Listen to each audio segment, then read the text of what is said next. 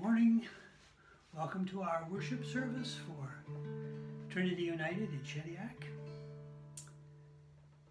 January the 17th. Oh, time is moving right along. Time is moving right along. Jesus said, I am the good shepherd. I am the good shepherd. I know my own and my own know me. They come where I call and walk wherever I may lead. I am the true vine. My branches, they will be ever free to go in love, free to go in love, and know the Father's love through me. Never shall I lead them astray. Always I shall guide them. Never shall I leave them alone. I shall be there to guide them. For I am the good shepherd. I know my own and my own know me. They come where I call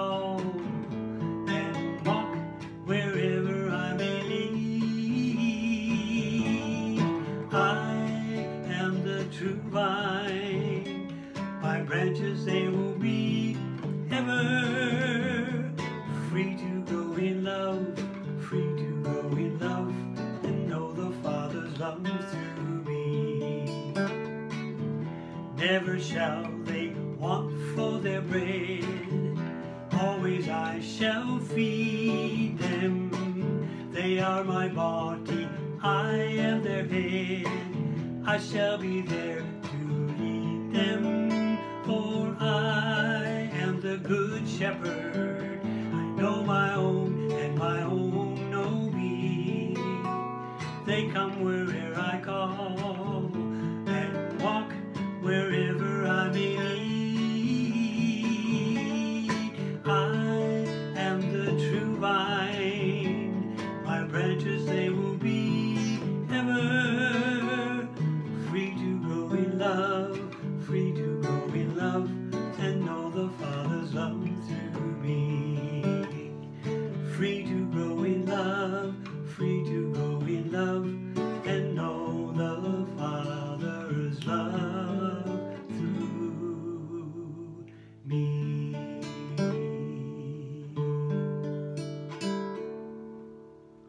us pray. Gracious God, as we come into your presence, help us to understand the words of Scripture and the words that I will speak this morning. We ask these things in Jesus' name. Amen. You know, we've been talking about this idea of going through a bit of John to look at, well, to see Jesus maybe in a new light for many people. We started off last week with describing him as the Word, the Word that was with God in the beginning. Now, John comes on, and, and John adds an, another description to Jesus. He calls him the Lamb of God who will take away the sin of the world. We're going to hear some pieces of scripture this morning, and uh, then we're going to hear a message. Let's prepare for the, the scripture readings. Jesus, Jesus, Jesus. Jesus. Oh, there's something about that name. Master, Savior, Jesus, like the fragrance after the rain.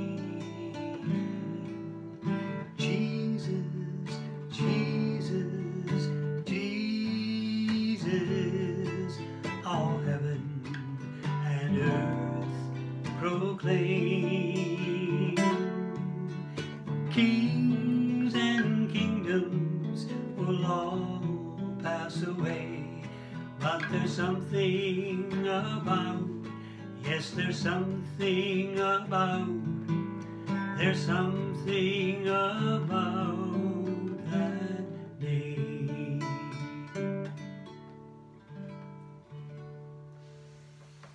We're going to hear a bit from the Gospel of John,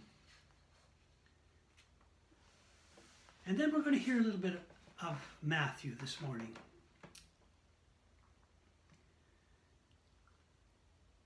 Starting at uh, chapter 1, verses 19 to 21 and 29, 29 to 34. The Jewish authorities in Jerusalem sent some priests and Levites to John the Baptist to ask him, Who are you? John did not refuse to answer, but spoke out openly and clearly, saying, I am not the Messiah. Who are you then? They asked. Are you Elijah? No, I am not, John answers.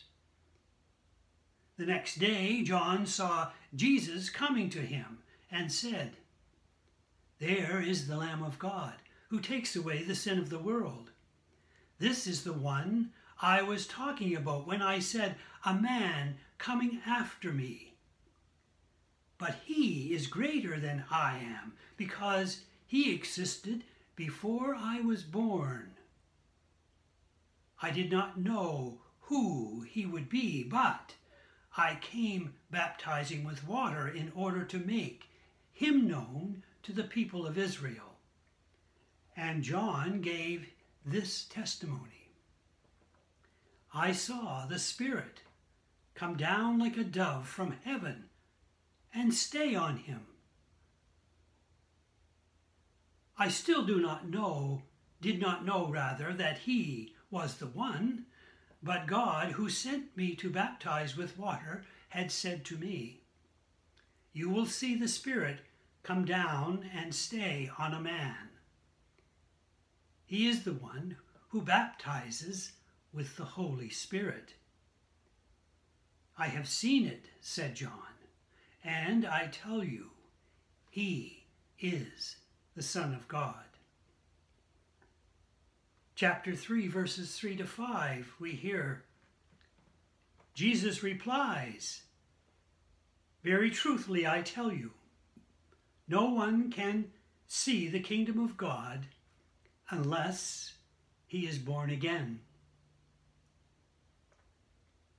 Jesus answered, Very truly I tell you, no one can enter the kingdom of God unless they are born of water and of the Spirit. You should not be surprised at my saying, you must be born again, Nicodemus. That was Jesus talking to Nicodemus, who came to visit him. Then we move on to Matthew to hear these words. Jesus' last commandment, you see, to his disciples was this Matthew 28 19. Therefore, go and make disciples of all nations, baptizing them in the name of the Father and of the Son, and of the Holy Spirit, and teaching them to obey everything I have commanded you. The words of the Lord. Bless them as we have heard. You know, today we're going to be looking at uh, Jesus in a different light. We're going to look at baptism baptism, you know, it has a history. Yeah. It wasn't always what it is in the church today. We're going to learn a little bit about that. So, would you pray with me just for a moment, please?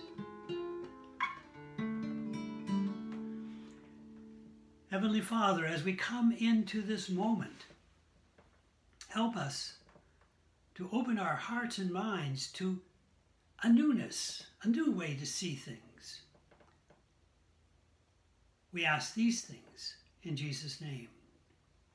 Again, we're for the next uh, six Sundays left, we're going to be looking at the Gospel of John. I've suggested that you do some reading on that Gospel before these uh, seven sessions are over so that you would get a grasp of what I'm trying to offer for you. As I said, did you know that baptism has a broad history? Before the time of Jesus' baptism, was, uh, uh, before the time of Jesus, baptism was used as a, a cleansing ceremony for uh, to, to convert, yes, to convert um, to Judaism the the unconverted. That that was what the Jewish community used baptism for in the early time before Jesus. John the Baptist took baptism to a new place. It became a baptism of repentance for both, not just uh, the unconverted, but for both Jews and Gentiles. Many believe John was the reincarnated prophet Elijah. That's why they sent those priests and Levites to him. So his followers, the ones that followed him, they believed in his preaching and accepted his baptism of repentance. He tells his followers in verse 19, 21, that he is not Elijah nor the Messiah, but is preparing the way for the one to come, called the Lamb of God, who takes away the sin of the world, he says. The first of many labels attached to the name of Jesus in the New Testament. John sheds more light on baptism by telling us that Jesus himself will not baptize with water, but will bring about a baptism of the Holy Spirit. We also heard that in the reading this morning. He will baptize with the Holy Spirit, John said. Here is an interesting observation. Jesus received the Holy Spirit while undergoing water baptism. After Jesus is baptized, the act of water baptism seems to kind of disappear for a, quite some time or go quiet, you might say, until the last chapter of Matthew 28, verse 19, we hear this Jesus commissions his disciples. Therefore, go and make disciples of all nations, baptizing them in the name of the Father, and of the Son, and of the Holy Spirit and, here's a very important part, and teaching them to obey everything I have commanded of you. After Jesus' resurrection and this final commandment to his disciples, he descends into heaven. This is at the last chapter of Matthew. Now that brings us back to the sacrament of baptism that we practice within the Christian church today. Some folks today question its purpose or its necessity. In my opinion, nothing happens without real commitment, folks. Otherwise, one would end up, well, sitting on a picket fence, you might say. Now I ask you, how long do you think that you could sit on one of those pointed picket fences. You see, decisions have to be made and commitments uh, to follow through are necessary if there's growth and movement. Therefore, we who have been commissioned continue the work of those early disciples by offering baptism as a commitment to follow in the ways of Jesus. And I must add here, just as it has happened to Jesus, the Spirit that has now uh, come upon him, and it happened during water baptism. Uh, that's when it happened. It came upon him during this water baptism.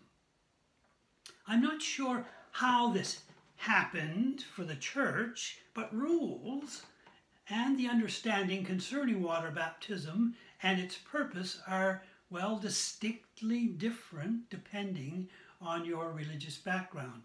And we're going to be discussing that with the congregation before we get into the message this morning. What does baptism, how does it, what does it mean to you? What did it mean to you in your religious upbringing? Water baptism with the United Church of Canada today is basically used to seal the oath of allegiance to the ways of Jesus. Some denominations require a full dunking. Others, why, and, and, and that, of course, is keeping with tr- John's tradition in the River Jordan, but for others, it's a sprinkling of water. Some faiths baptize infants, others do not. With infant baptism, the parents of the child take on the responsibility and make pledges to bring the baptized child up to imitate the ways of Jesus.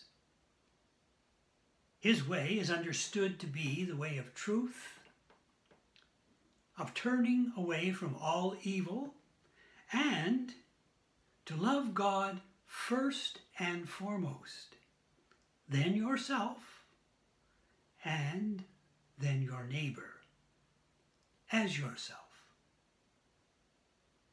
Adult baptism is the same, except it's the adult that makes the commitment and the pledges themselves.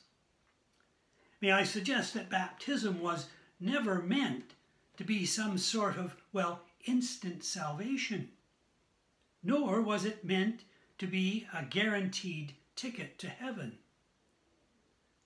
I have found no evidence in the scriptures to establish that concept as fact.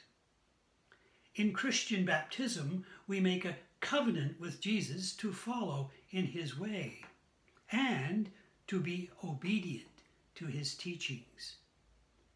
You see, that was what we read this morning in Matthew 28 as he descended.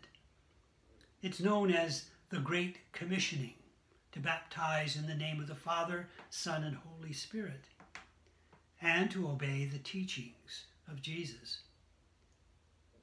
In the United Church, we call baptism an outward expression, meaning we follow through with our pledge, of an inward reality, meaning the God within, full of love and compassion for all. Now, here is a nugget for you. Baptismal vows, after said, can only be seen as you begin to practice the great commandment to love the Lord your God with all your mind, soul, and strength, heart, and to love your neighbor as you love yourself. Did you know that our brothers and sisters in the Salvation Army, uh, they do not recognize or practice, I should say they, they do recognize, but they don't practice um, baptism the way that we do. No, no, no. They believe that you can have that experience of full grace and communion with Jesus without performing the rituals. Now, here is something for you to consider. If you observe their behavior, they actually appear to practice what we commit to in words. May I suggest that the sacraments of both baptism and communion are vital to our denomination, but there must be visible signs that we are following through with what we have pledged. Otherwise, we become hypocritical of the ritual, you see. That brings us to the second baptism, spoken about by John in the early reading this morning. baptism by the Holy Spirit.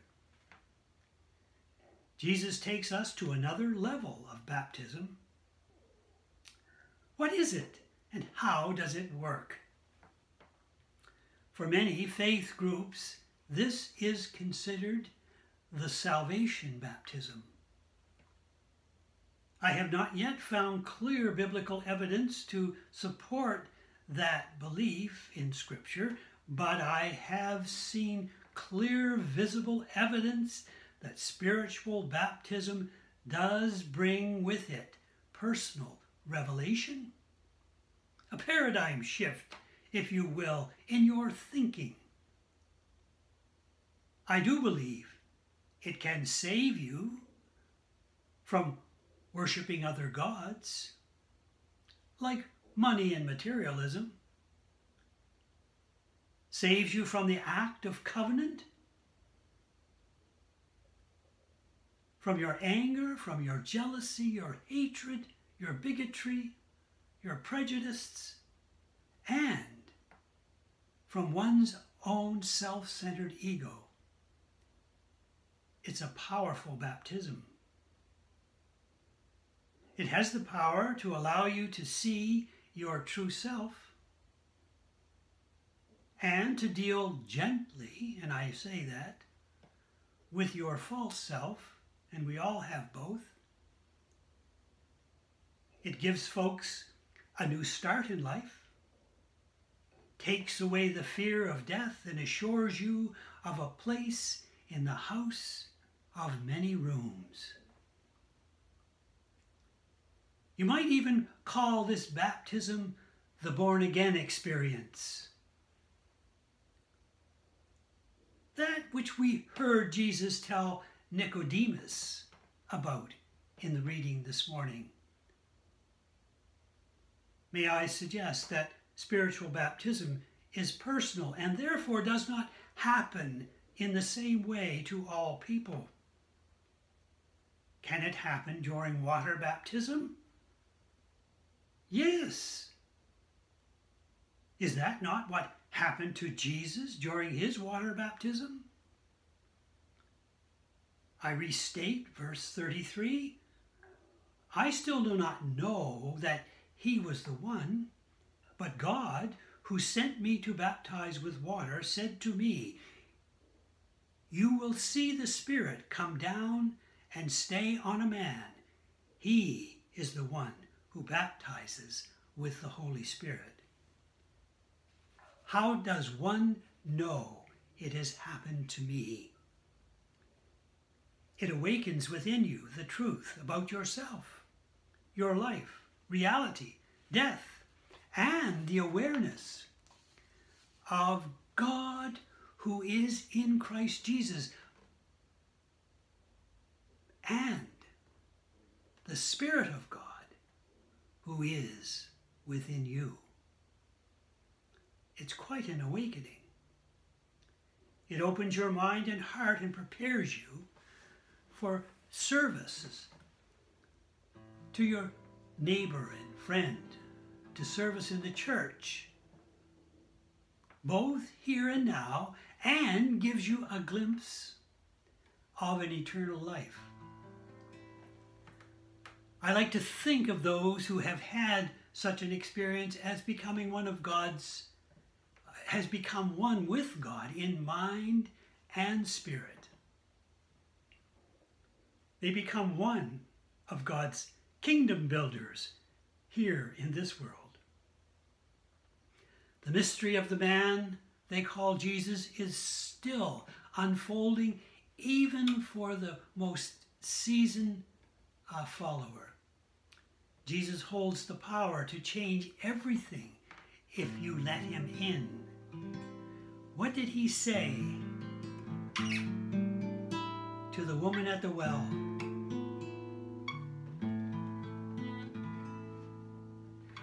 Jesus said, If you drink of my living water, you will never be thirsty again.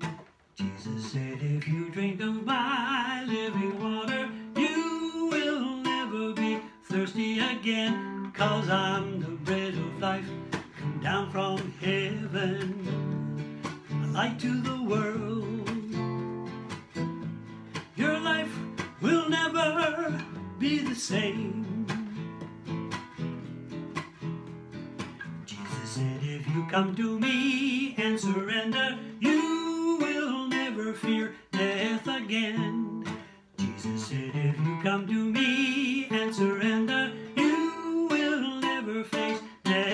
again.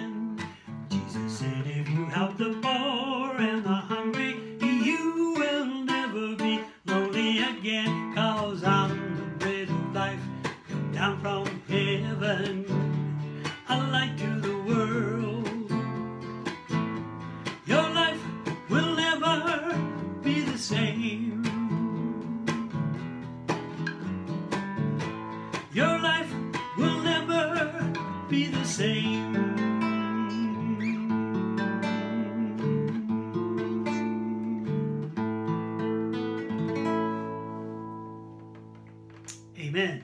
Amen. Well, as I said before, um, this is the 17th of January. My goodness, the time is moving. I would like us to uh, to uh, just sing a little bit of a, an offering song. And uh, if you have an offering, hold on to it and, and give it to the church of your choice or to a, something that's important to you.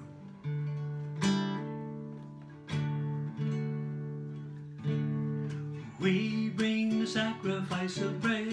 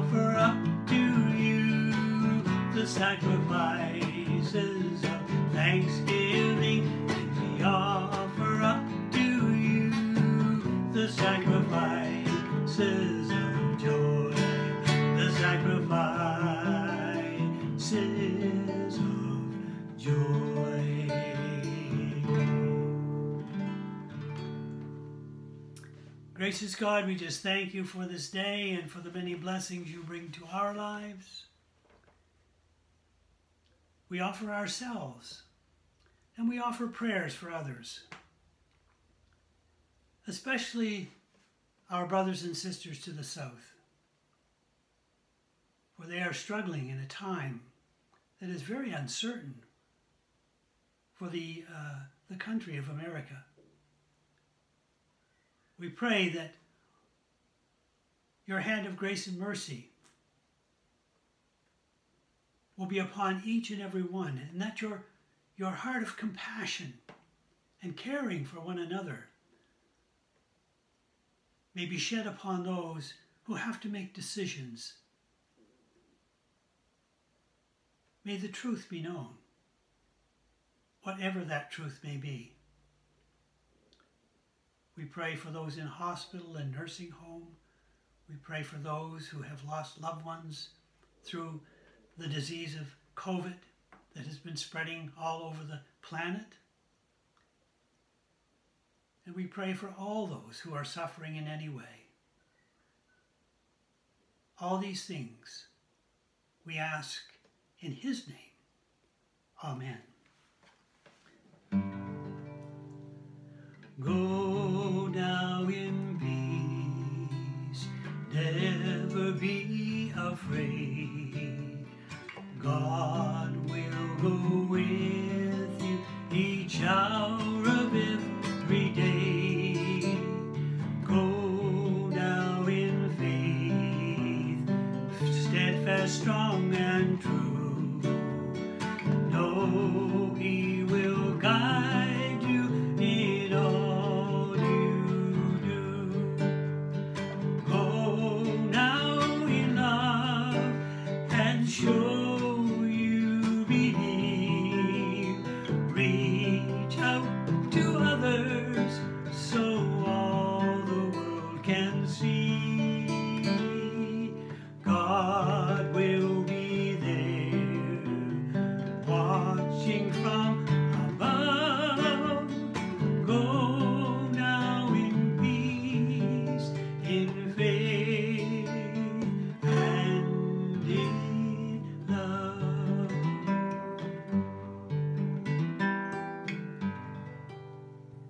Blessings in the name of the Father, the Son, and the Holy Spirit, for this day and for the days to come.